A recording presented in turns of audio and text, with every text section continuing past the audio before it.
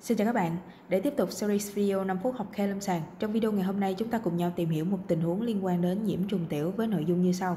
Một người phụ nữ 25 tuổi đi đến phòng khám phàn nàn vì tiểu gắt, tiểu buốt, tiểu lắc nhắc trong 3 ngày qua.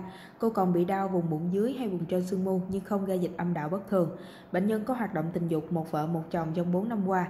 Cô chưa bao giờ mang thai và dùng biện pháp ngừa thai là bao cao su. Kinh chót khoảng 2 tuần trước, lần quan hệ tình dục gần nhất là cách đây 2 ngày. Về tiền sử, cô không uống thuốc gì và không ghi nhận tiền căn dị ứng thuốc. Khám nhiệt độ 37,1 độ C, huyết áp 110 trên 70 mm thủy ngân, mạch 68 lần trên phút, nhịp thở 15 lần trên phút, ấn đau vùng trên xương mu, không có ấn đau vùng hông lưng. Khám các cơ quan khác không ghi nhận bất thường. Kết quả xét nghiệm có test mang thai là âm tính. À, phân tích nước tiểu tỷ trọng 1,02, máu là trace hay là vết, glucose âm tính, keton âm tính, leukocytesterase dương tính và nitric dương tính.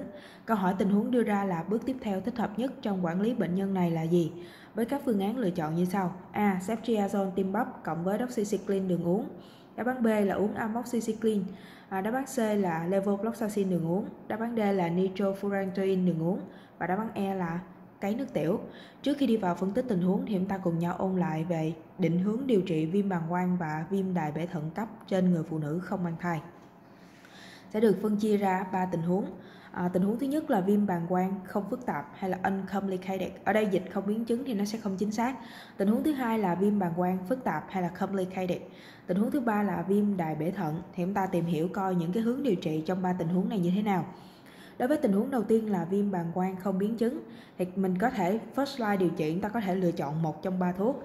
À, một đó là nitrofurantoin dùng 5 ngày tránh cho những bệnh nhân nghi ngờ viêm đại bể thận hoặc là có độ lọc cầu thận dưới 60 ml phút.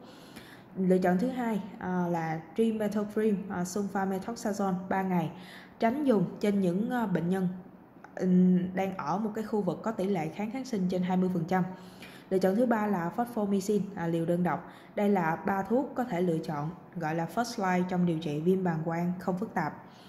À, fluoroquinolone chỉ dùng khi các cái option phía trên này không dùng được và cái nước tiểu chỉ được thực hiện khi điều trị ban đầu bị thất bại trong trường hợp viêm bàng quang không phức tạp. Tình huống thứ hai là viêm bàng quang phức tạp. Thì chúng ta cho điều trị là fluoquinolone à, dùng 5 đến 14 ngày. À, hoặc có thể dùng kháng sinh phổ rộng là kết hợp ampicillin, gentamicin đối với các trường hợp nặng. Và nên lấy mẫu nước tiểu cấy trước khi điều trị kháng sinh để có thể điều trị điều chỉnh phần kháng sinh à, theo kết quả cấy. À, tình huống thứ ba là viêm đài bể thận à, chia theo hai hướng là điều trị ngoại trú và điều trị nội trú. Điều trị ngoại trú là sử dụng fluoroquinolone như là ciprofloxacin, levofloxacin. Điều trị nội trú là dùng kháng sinh tĩnh mạch có thể là fluoroquinolone hoặc là aminoglycosid phối hợp với ampicillin. Và lưu ý, trong hai tình huống đó là viêm bàng quang phức tạp và viêm đại bể thận đều lấy mẫu nước tiểu cấy trước khi sử dụng kháng sinh để có thể điều chỉnh theo kết quả cấy nước tiểu. Bây giờ chúng ta sẽ quay trở lại phân tích tình huống này. Trên bệnh nhân, biểu hiện lâm sàng của tình huống đưa ra là bệnh nhân này có tiểu gắt, tiểu buốt, tiểu lắc nhắc, đau vùng trên xương mu, à, gợi ý viêm bàng quang không phức tạp. Viêm bàng quang không phức tạp thường gặp trên những cái bệnh nhân à, khỏe mạnh và nguy cơ điều trị điều trị ban đầu á, nguy cơ thất bại trong điều trị ban đầu là thấp. Trên những bệnh nhân có biểu hiện lâm sàng gợi ý như là tiểu gắt, tiểu buốt, tiểu gấp, à, phân tích nước tiểu. Mình sẽ cho phân tích nước tiểu để xác nhận chẩn đoán và bệnh nhân có thể được điều trị mà không cần cấy nước tiểu. Và chỉ cấy nước tiểu trong những trường hợp điều trị ban đầu trên bệnh nhân bị thất bại. Cho nên mình loại phương án E là cấy nước tiểu. À, lựa chọn điều trị được prefer hay là được ưu tiên được ưa thích lựa chọn á, bao gồm 3 option. Một là trimethoprim hoặc sulfamethoxazole dùng trong 3 ngày. Thứ hai là nitrofurantoin dùng trong 5 ngày. Phosphomycin à, liều đơn độc đây là ba sự lựa chọn có thể cân nhắc đây là first line điều trị. Fluoroquinolone cũng có hiệu quả nhưng mà thường là thuốc dành cho những bệnh nhân à, không thể điều trị với các cái option phía trên. Ví dụ như là bệnh nhân dị ứng với sulfamethoxazole hoặc là những nơi có tỷ lệ kháng kháng sinh cao. À, viêm bàng quang phức tạp à, là viêm bàng quang phức tạp là cái trường hợp mà nhiễm trùng kèm theo những cái yếu tố nguy cơ à, tăng đề kháng những cái yếu tố mà tăng nguy cơ đề kháng kháng sinh hoặc là thất bại điều trị. Các yếu tố này bao gồm bệnh nhân đái tháo đường nè, bệnh thận mạng, bệnh nhân mang thai, suy giảm miễn dịch, hoặc là có tắc nghẽn đường tiết niệu, nhiễm trùng bệnh viện, hoặc là nhiễm trùng liên quan đến các cái thủ thuật.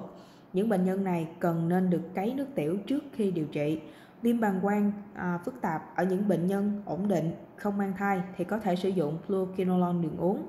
Nhưng mà trong những trường hợp nặng thì cần dùng kháng sinh đường kháng sinh phổ rộng đường tĩnh mạch ví dụ như là ceftriaxone à, trong khi chờ đợi kết quả nuôi cái chờ đợi kết quả cái nước tiểu. À, và tình huống thứ ba là viêm đài bể thận à, tức là trường hợp này là nhiễm trùng tiểu có sốt nè kèm theo ấn đau vùng hông lưng. À, cái này là không tìm thấy trên bệnh nhân rồi. Cũng cần nên được cấy nước tiểu trước khi bắt đầu điều trị. Và trong trường hợp bệnh nhân ổn định không mang thai với viêm bạc ừ, có viêm đại bể thận cấp không biến chứng thì có thể điều trị với kháng sinh đường uống và cũng thường là fluoquinolone nhưng nếu như bệnh nhân không ổn định hoặc là những người có nhiễm trùng là nhiễm trùng mà phức tạp á thì chúng ta sẽ sử dụng kháng sinh đường tĩnh mạch như là ceftriaxone bây giờ còn à, hai phương án, đáp án A và đáp án B thì chúng ta đi phân tích xem những cái phương án này như thế nào. Đối với phương án A là ceftriaxone tiêm bắp cộng với doxycycline. Đây là kháng sinh kinh nghiệm trong điều trị nhiễm trùng, nghi ngờ chlamydia và hoặc là lậu cầu. Doxycycline thì không hiệu quả trong viêm bàng quang và thuốc uống à, thuốc đường uống thường được prefer hơn so với những cái thuốc dùng đường khác không phải là đường uống trong viêm bàng quang à, trong viêm bàng quang um, không phức tạp. Đối với phương án B là amoxicillin không được khuyến cáo trong điều trị kháng sinh với viêm bàng quang vì tỷ lệ đề kháng kháng sinh cao và um, có thể cân nhắc amoxicillin và à, clavulanic clavulanat có thể được xem xét nhưng mà sử dụng cái thuốc này thì có thể mang lại cái tác dụng không mong muốn đáng kể ví dụ như là tiêu chảy. Vậy tóm lại à, phần lý thuyết trong tình huống này là ta lưu ý 3 điểm viêm bàng quang không phức tạp thường gặp trên những bệnh nhân khỏe mạnh và có nguy cơ điều trị ban đầu, nguy cơ thất bại trong điều trị ban đầu thấp. Phân tích nước tiểu để xác nhận chẩn đoán, bệnh nhân có thể được điều trị mà không cần cấy nước tiểu, chỉ cấy nước tiểu sau khi điều trị ban đầu bị thất bại. À, sử dụng điều trị ban đầu, các kháng sinh có thể sử dụng là uh, first line hay là first line điều trị. Những cái uh, first line option đó là trimethoprim phối hợp với sulfamethoxazole dùng trong 3 ngày hoặc là nitrofurantoin dùng trong 5 ngày hoặc là fosfomycin liều đơn độc. À, đó là phần phân tích tình huống liên quan đến nhiễm trùng tiểu. À, cảm ơn mọi người đã theo dõi video clip này. Hẹn gặp lại các bạn trong các video clip sau.